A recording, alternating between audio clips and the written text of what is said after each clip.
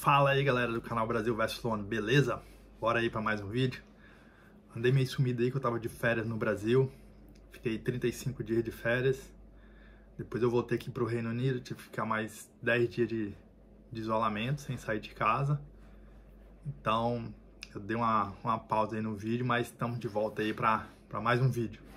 Nesse vídeo eu quero falar um pouquinho sobre a minha viagem, a minha volta, né, do Brasil aqui pro, pro Reino Unido e os procedimentos que eu tive que tomar, porque, né, infelizmente, com essa pandemia e como nós sabemos, é, o Brasil em si ele está encarando essa pandemia, não está levando tão a sério assim, não realidade, não na realidade o Brasil, mas sim o presidente brasileiro, é, embora ele tenha tomado bastante, é, bastante precauções, né? Contra essa pandemia, mas as palavras deles, infelizmente, são totalmente contrárias ao restante do mundo inteiro. Então isso dificultou bastante a minha volta aqui para o Reino Unido, porque o Reino Unido fechou, né, a, a fronteira com o Brasil. Na realidade, não é, é, fechou somente para só poderia vir viajar para o Reino Unido quem reside aqui no Reino Unido. Né? Só moradores, pessoas que estavam fora que poderiam retornar, mas ninguém mais quisesse vir do Brasil para cá, tá podendo entrar. Mesmo assim, chegando aqui no Reino Unido, tem que ficar 10 dias em casa de isolamento para ver se não, se não tem um Covid. Normalmente o Covid demora 7 dias para se manifestar no corpo humano. Então, nesse isolamento aí é para ver se tem alguma alguns sintomas. Para poder viajar para cá, para poder retornar para cá, eu tive que fazer o exame de Covid 24 horas antes do voo. Eu paguei nele aí no Brasil 265 reais mais ou menos, 263 se eu não me engano, e, e me apresentar todos os meus documentos. É, no Brasil nós temos uma grande polêmica sobre essa pandemia, né? Negócio de governadores versus presidente e o povo acaba ficando refém. Aqui na Inglaterra nós ainda estamos de quarentena, só está funcionando o essencial, mas ao contrário do Brasil, o governo continua pagando o salário do trabalhador. No início, o governo brasileiro fez totalmente errado, saiu distribuindo dinheiro para todo mundo, até para quem não trabalhava. Era simplesmente se inscrever no aplicativo e receber o dinheiro. E aqui no Reino Unido, não. O, o governo do Reino Unido passou o dinheiro para as empresas e as empresas pagavam os funcionários. Quem não trabalhava, a pandemia não fez diferença nenhuma. A pessoa já já, sei lá, sobrevivia do Bolsa Família, alguma coisa assim. Então, o governo só pagou o salário de quem trabalhava.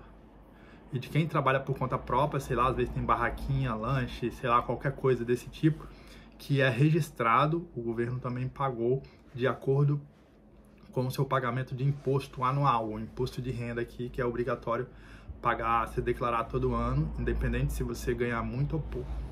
Então, até hoje aí nós estamos recebendo isso. É, eu, eu ainda trabalho, a minha área é uma área essencial. Né? Eu trabalho na área de automotiva, então o carro é essencial para as pessoas, médicos, as pessoas que trabalham no armazém, que trabalham de mercado, é, trabalhar. Então, a minha área é uma área essencial e eu não saí muito prejudicado nisso. Mas, ao contrário daqui do, dos países, né, onde os presidentes sei lá, tiveram mais inteligência e tem mais compaixão com o povo, ao contrário de tudo isso, né?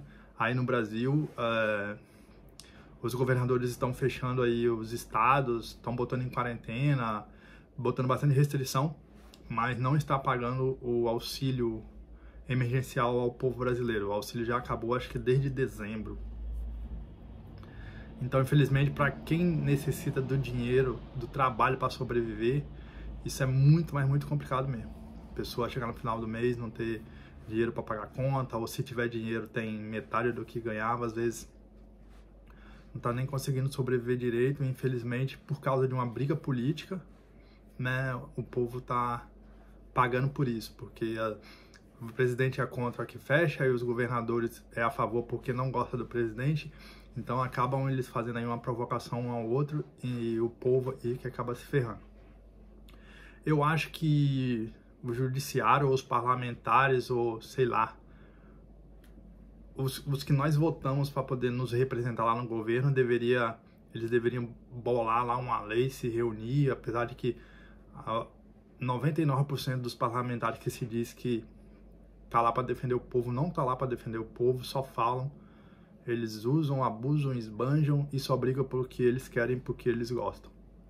Então, acho que eles deveriam se reunir e bolar lá uma lei que se o governador quiser botar o, o estado em quarentena, que ele tem, tem que pagar o auxílio emergencial para aquele estado, já que no caso o, o presidente já, já cortou, né? Se eu não me engano, ele pagou seis meses ou sete meses e, e agora ele cortou da parte dele, porque para ele tudo já pode voltar, entre aspas, ao normal.